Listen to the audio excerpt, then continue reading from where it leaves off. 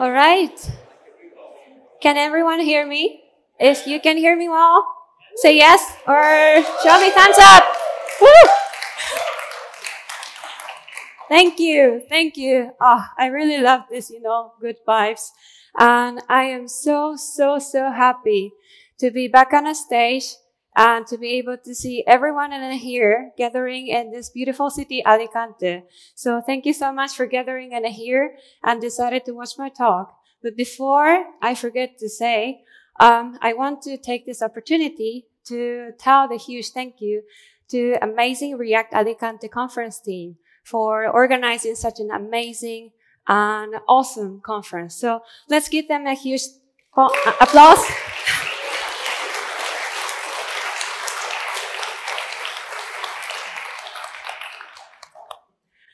All right.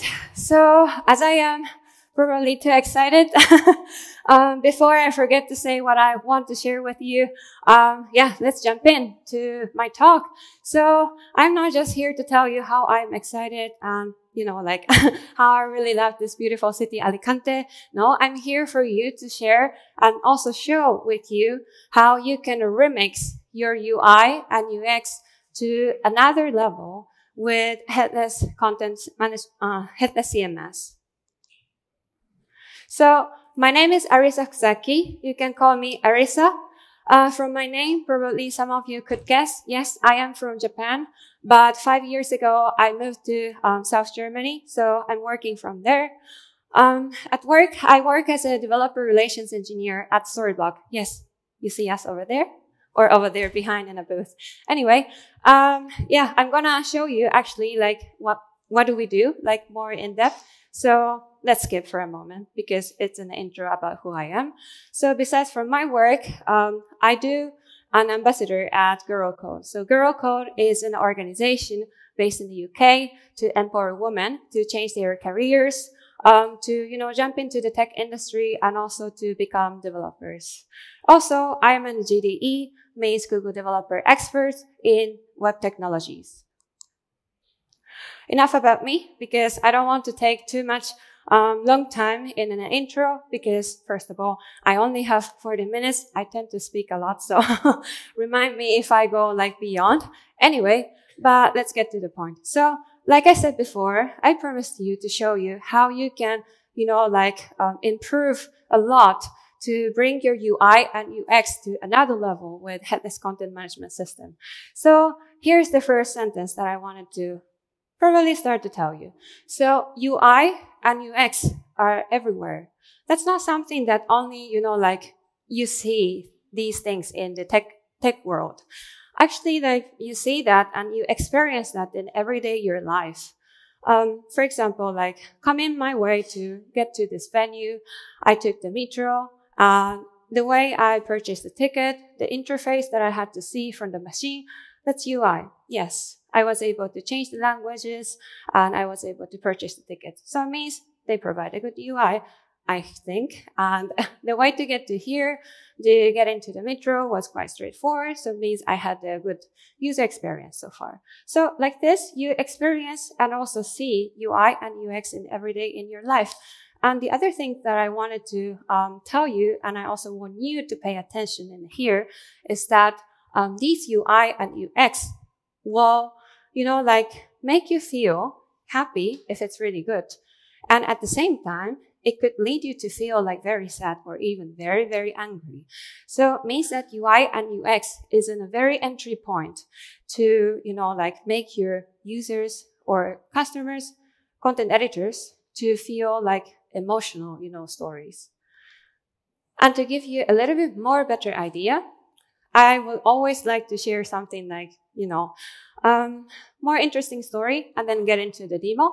So don't worry about it. I will get to the point to show you the demo. But before going to that, I want you to imagine how it could lead to, you know, like provide what kind of experience to your users. So here's the thing. Um, a true story, um, lost in an island because of the bad UI and UX. It's not going to be horror because I cannot watch horror movies.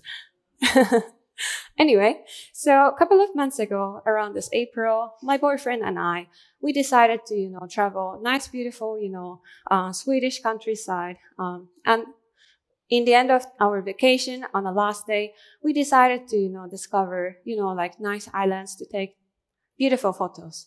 So on that day, we had a plan to discover two to three islands because all of them are like gathered in a quite close distance. So we just simply were able to take a ship. Uh, you know, if we, you know, if, if we are able to, you know, take the, uh, take the next, you know, ride, then it shouldn't be no problem to discover two to three islands in a day. So we took the ship and here's the first place where we got off our ship. So far, we were able to find a place where it looks like a port and also the place where we probably could find a timetable. And it's not too difficult. And here's the timetable. I would say like even we both had no clue what it was written because it's written in all in Swedish. To find the next, you know, like timetable to get on a ship shouldn't be too difficult because I mean, to find a timetable, I think everywhere in the world is written in the same format, numbers. So, okay, we decided to take the next, uh, next ride around 246, the place where I highlighted in here. So from now on, we probably have like more than an hour to discover an island. And this island is relatively small. So we even enjoy like, you know, to take the photos, took some walk, even chilled. And we both are really, really, you know, kind of the type of the people want to be extra prepared. So we even set the alarm on our phones to be back in the port uh, 15 minutes in advance. So we saw the ship was approaching to us. Okay, good. We can take the next ride. But look what had happened.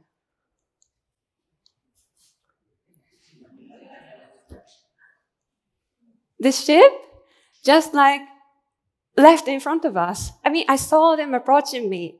I saw them right in front of me, but they didn't stop it at all. They were just like, bye bye. So I was like, I mean, seriously, we were waiting in there for 15 minutes in advance and they saw us. They saw us, but they just left us. What's going on? Right? So at this point, although I was really, really panicked, I realized that there must be something inf- very important information we have missed. So let's go back to the timetable and here's what I found. So for some reason, if you had paid very, very close attention to this tiny capital T right next to the timetable where we're supposed to take the next ride.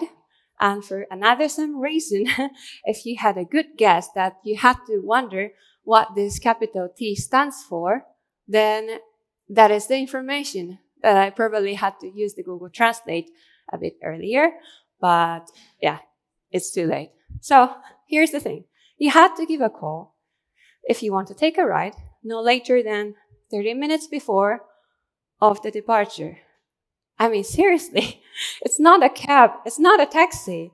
I mean, I want to know, like, in every conference that I give a talk with this topic, I want to know how many of you could guess that you had to give a call no later than 30 minutes of your ride. I want to see. Average, like, I see like one or two hands, but I see like more than two hands in here. Okay, okay, then maybe like you're more expert than me, but, but, let me say but. For me, it is not normal. And yeah, I couldn't guess that, that I had to take, you know, that I had to give a call. Anyway, so, but we don't have time to depress, right? Because we need to go back to the main island. Now we have another mission, which is more serious, that um, preventing, you know, for not letting us to stay overnight in this, you know, island. So we saw the next timetable, uh, which is quite like, uh, yeah, depressing because means that we have entire three hours with just empty summer, summer houses and no human beings and no place to go and no place to eat, nowhere to go to the bathroom. So of course I'm unhappy. I mean, First of all, I plan to discover like two to three islands, you know, to take beautiful photos, to have nice feeling to end my, you know, last day of vacation. But no, I need to spend entire three hours without being able to do anything at all. And of course, this is literally my mind inside. I thought I seriously, I seriously considered about to swim back because I, there's no way that I want to spend my three entire hours in this island uh, where you can find nothing. I mean, it's not like I wasn't able to go back to the main island. Yes, we were able to go back to the main island, but it was already like evening. So there's not much things to do. So we ended up for not being able to do like anything at all, but just got stuck in an island. So my whole journey was like, in the end, I was able to go back to the main island. I didn't have to call something to rescue us. But my entire journey, you know, to be able to complete my, you know, last day of vacation was like completely, you know, ruined. So I was very, very unhappy. So let's go back to like what we were talking in the beginning. What I shared with you in this, you know, Lost in an Island because of the bad UI and UX story, um, will tell you this. Well, if I had a great UI and UX on the timetable, probably today on this stage, maybe I was sharing with you that I really had such an amazing vacation. So you all should go there. But I mean, like, it didn't work in that way. I had a very UI and UX in there. Um, my experience on that, um, in the journey over there was like not nice. So from here, you can tell that, okay, the experience that use, your users will get will matter a lot and they feel or they will have like emotional stories. So let's transition, you know, like this story into tech and more precisely your favorite technologies you like to use. I'm pretty sure like everyone in this room, um, you know, like have your favorite technologies um, that you want to use every day. So here's my example. My favorite tech stacks are Remix and Storyblok, and we are going to see why. And first, let's start from the Remix. So Remix is a framework um, that is considered that is very fast and super resilient and to give you how, you know, like fast and resilient, I'm going to show you more of the approaches and the features that they have. But to give you a quick overview, why I'm saying that and why I chose Remix, I'm not doing anything complicated in here, but I just wanted to show you how they're really fast in general. So I'm more used to, you know, like, um, in here, I'm doing only, you know, like running the local host to start to working on my project. But I'm more used to, you know, like kind of the background that I'm waiting for a couple of even minutes to, you know, get, get up from the seat, go into the kitchen, make a coffee and go back and then, oh, okay, finally it's ready. Then I can start to work. But Remix doesn't give you that time. Um, look at this. It's been built in under 600 milliseconds. And we are going to see more what kind of very, very helpful and really useful features Remix has already provided for us. Next up, I chose Storyblok as a headless CMS. And I know, I know, a couple of you might thinking that, oh, come on, you work at Storyblok, so that's why you say that. No, I would say no, because even if I wouldn't work at Storyblok, I would have used Storyblok for pretty, pretty much like all the probably like projects that I use, because by choosing Storyblok, it will it will give me already like you know the um I would say like you will be able to provide the real-time visual editor to your users, content editors, um, from the moment you know the day one you you you, you use Storyblok, so that I do not need to build such kind of feature from a scratch. And the second reason I chose Storyblok is because well by choosing Storyblok, not just me develop as a developer, but for my clients or the um, content editors, they also will be able to use the reusable component approach. So means that Storyblok is based on the atomic design methodology, and then you can define only the necessary components that you want to have. And not just only to that, um, everyone uh, will be able to nest whatever kind of components to create different layouts with minimum amount of the components. So before I forget, because I easily forget things, but to stick to the order when I'm going to talk, um, I just wanted to give you a quick note that we have the tutorial um, based on Remix and Storyblok. So if you're interested in to, you know, test it out in your environment, here's the QR code that you can make a photo, then you will over, you will be able to see the tutorial. And here's the demo. So this is what I'm going to show you today in the, in the rest of the talk today. So of course, as a developer or as developers, you always want to test it out and play in your environment, right? So to do that, here's another QR code and you should be able to see my GitHub repo. All right. So here's the fun part, demo. So let's get started. And to do so, first of all, I'm going to show you how you can create you know, the connection between Remix and Storyblok. Because, of course, by default, um, these two different technologies do not have the connections at all. So, but not to worry, we are going to enable that um, by following simple three steps. And then after that, I'm going to, you know, like um, improvise a little bit more to implement um, more blog-based um, structure over there. So to get started, First of all, let's go from step one. Step one, as I promised you before, for not being complicated, you just need to execute these two simple uh, commands. One is to um, generate your brand new uh, remix project. So it wouldn't take too long. You only need to wait for only a couple of few seconds.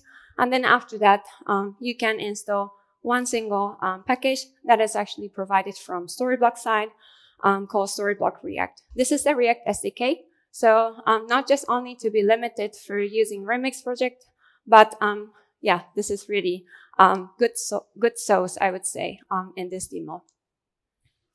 So step two, this is even easier step.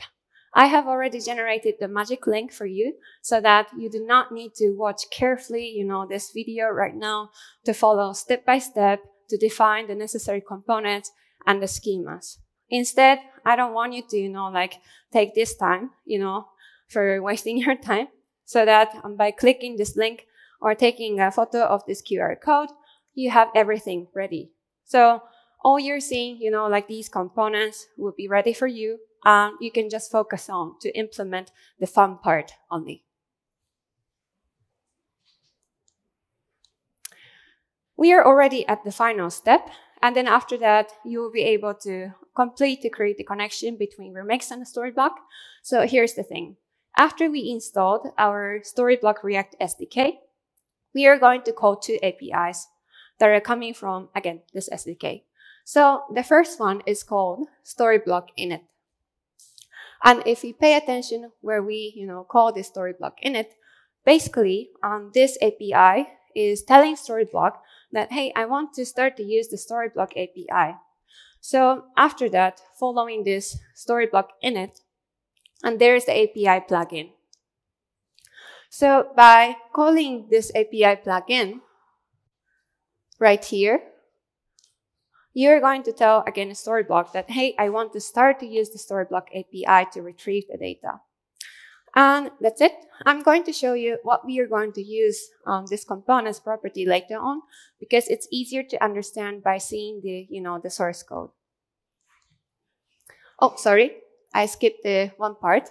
So here, you can swap your token with the preview API key token that is provided from Storyblok side.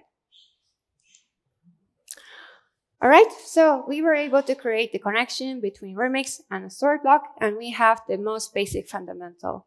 Next up, we are going to create the logic to handle the dynamic components so that your content editors will be able to render, you know, these dynamic components from the Storyblok's UI.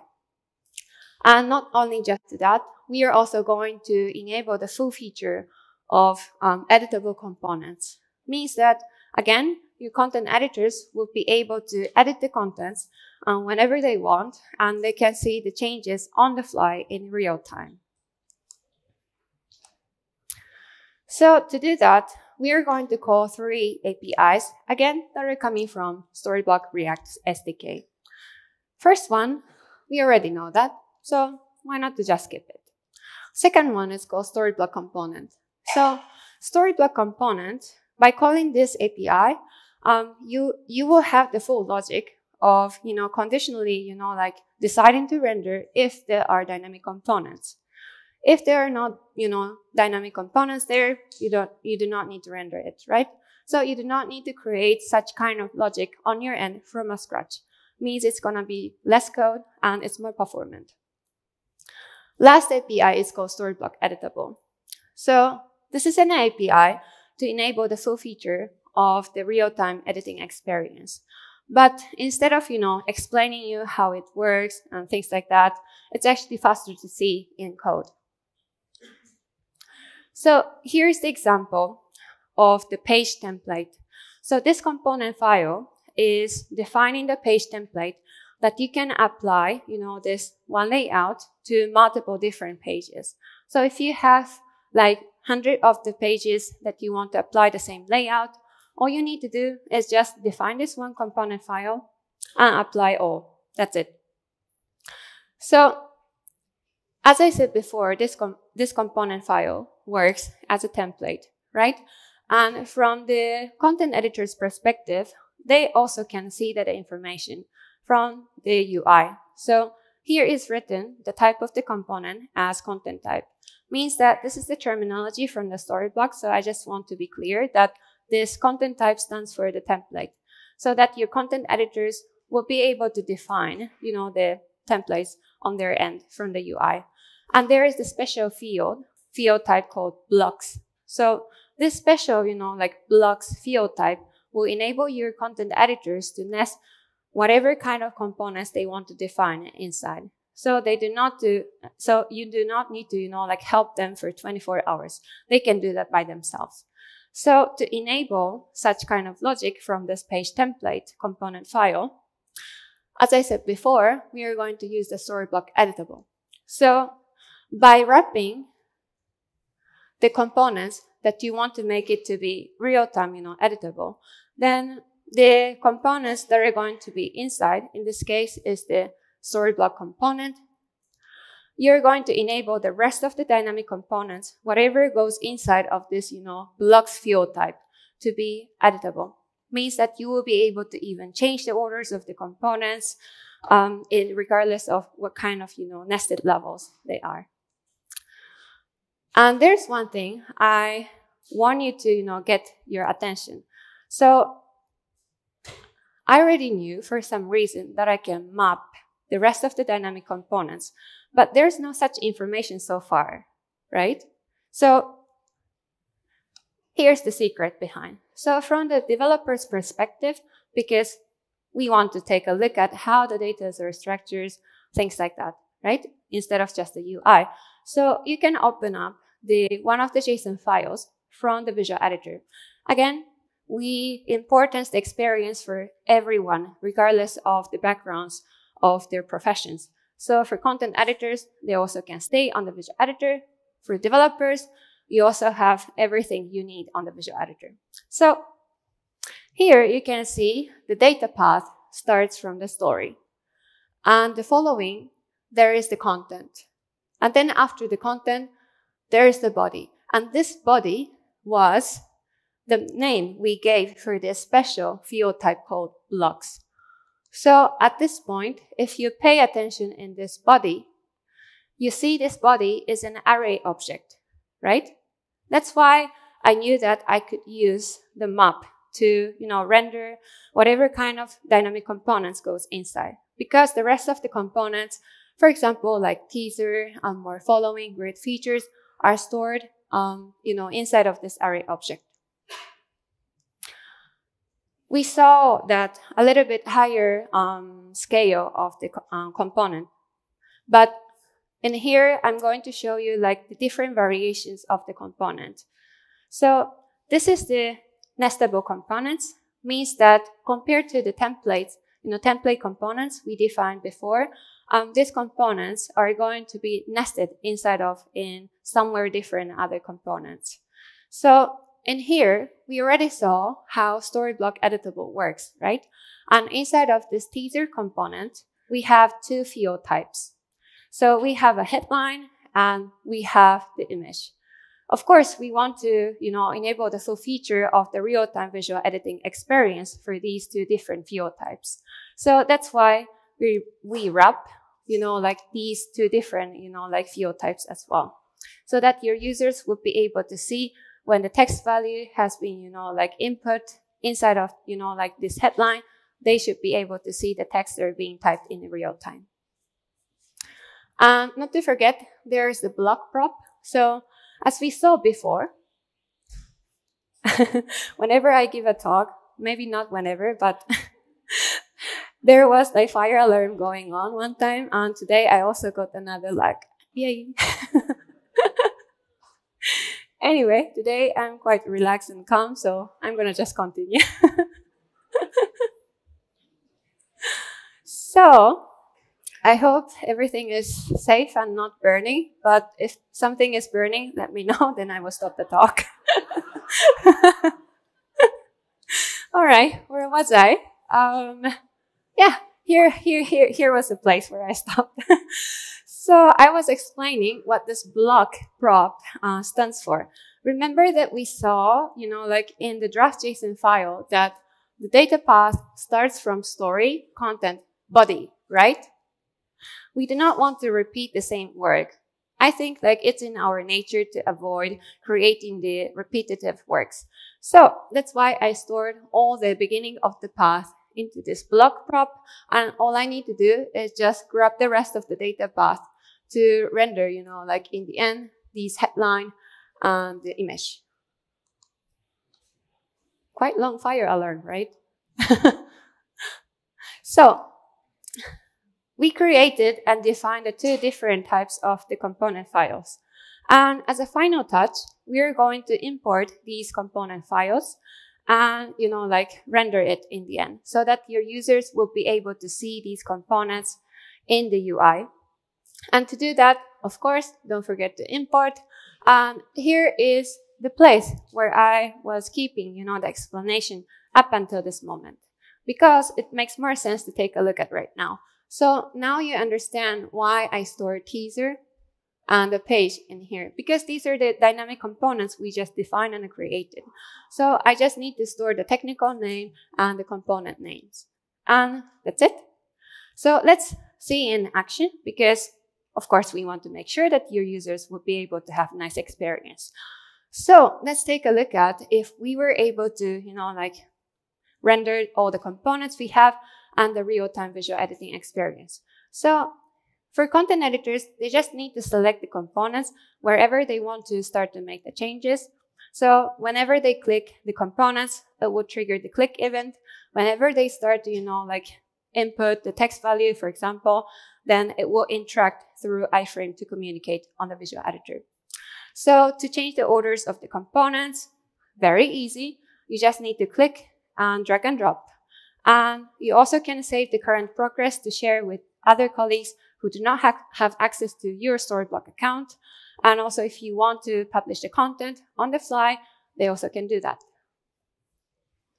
So, congrats! Yay, we have the real-time visual editor.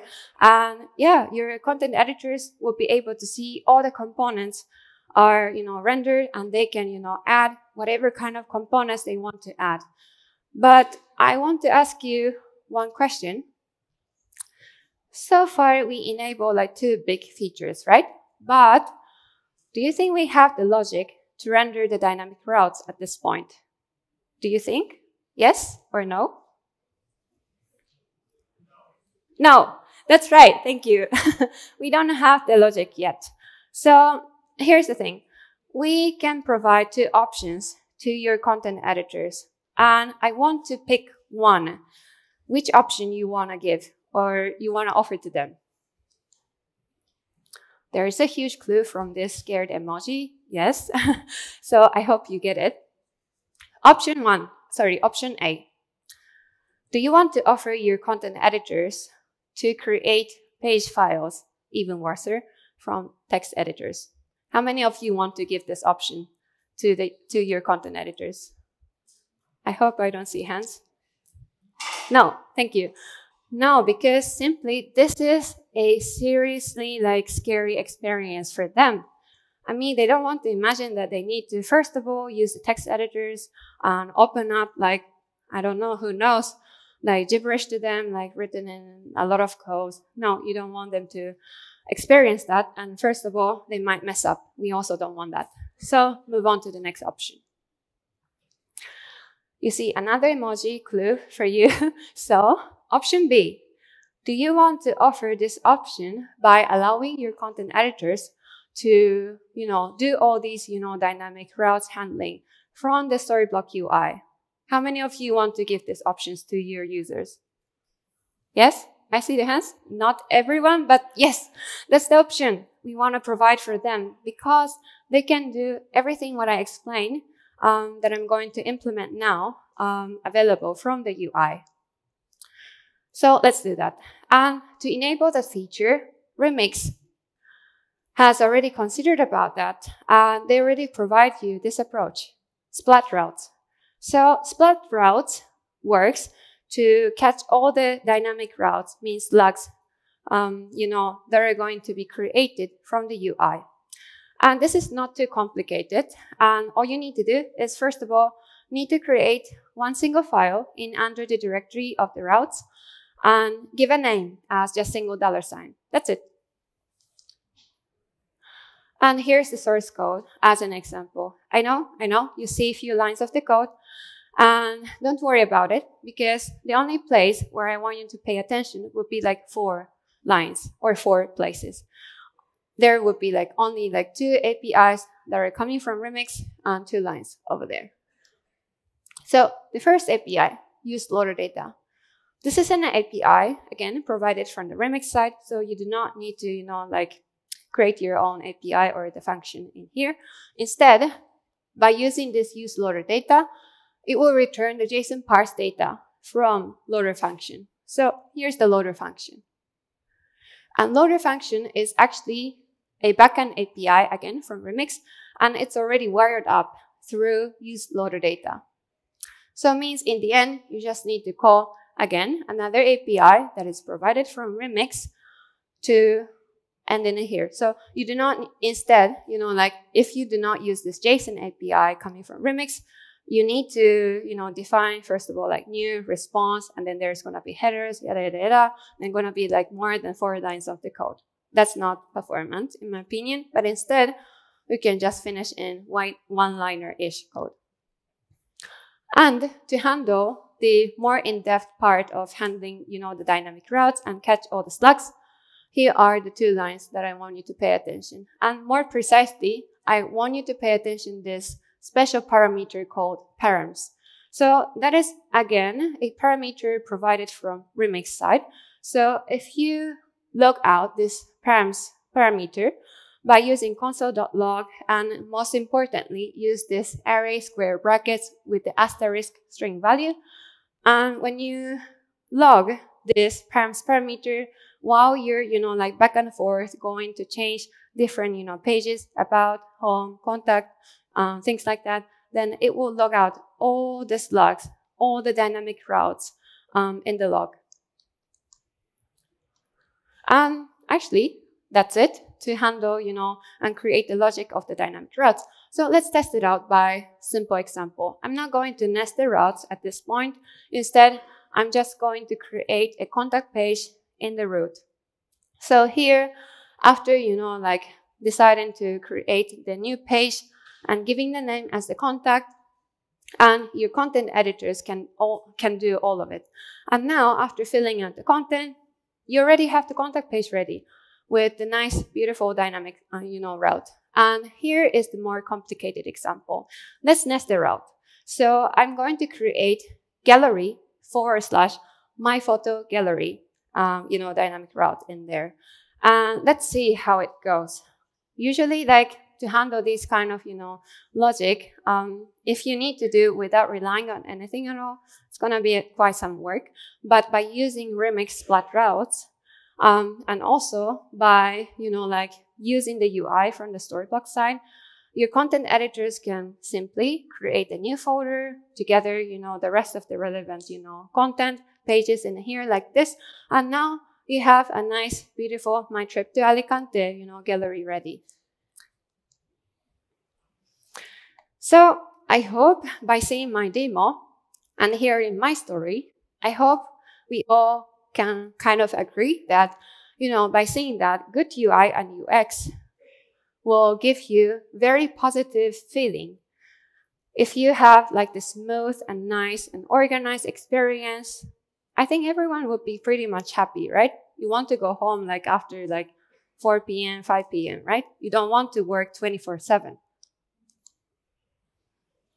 And to conclude my talk, I want to, um, yeah, share with you like this last sentence in here and want to ask you one last question. So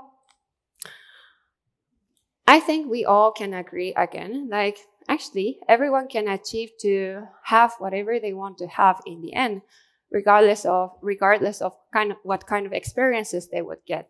It's true that 30% of the um, webs in out there in this world has been powered by monolithic because it simply works. But my question is that do you think all these content editors and the developers, do you think they have like the nice experience without any stresses at all? That's something I still wonder about it. And this is my final question to you.